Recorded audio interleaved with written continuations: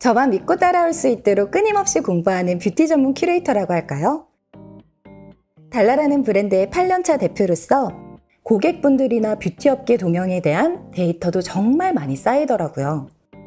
뷰티 관련해선 트렌드에 대한 공부도 많이 하기 때문에 가장 전문적으로 유저들에게 다가갈 수 있다고 자부할 수 있어요. 어, 요즘엔 이런 제품이 많이 보이네 라는 생각이 들면 좋은 제품이 없나 하고 sourcing을 시작해요.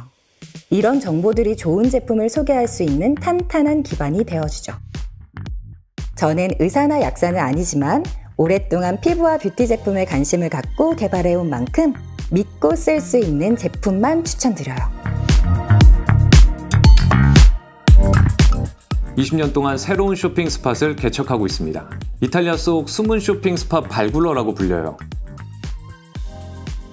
저는 여러 전문가분들을 모아 상품 소싱부터 콘텐츠 기획, 판매까지 체계적으로 진행하고 있어요. 팀 이태리라고 할까요?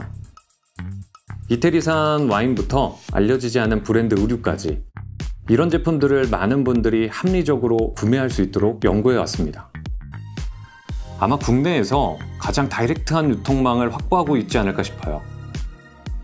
가장 이탈리아스러운 제품을 가장 가까이에서 만날 수 있도록 20년 동안 새로운 쇼핑 스팟을 개척하고 있습니다.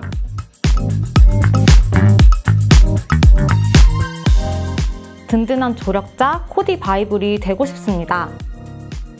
하나의 아이템으로도 어느 것과 매치하느냐에 따라 입는 방법과 스타일이 한정 지을 수 없을 만큼 다양하다는 걸 아셨나요?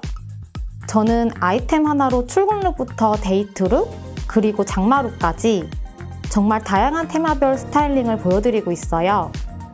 어렵지 않으면서 남들과는 조금 다른 스타일링을 항상 시도해요. 모든 스타일링을 직접 입어보고 확인해봐야 직성이 풀린다고 할까요?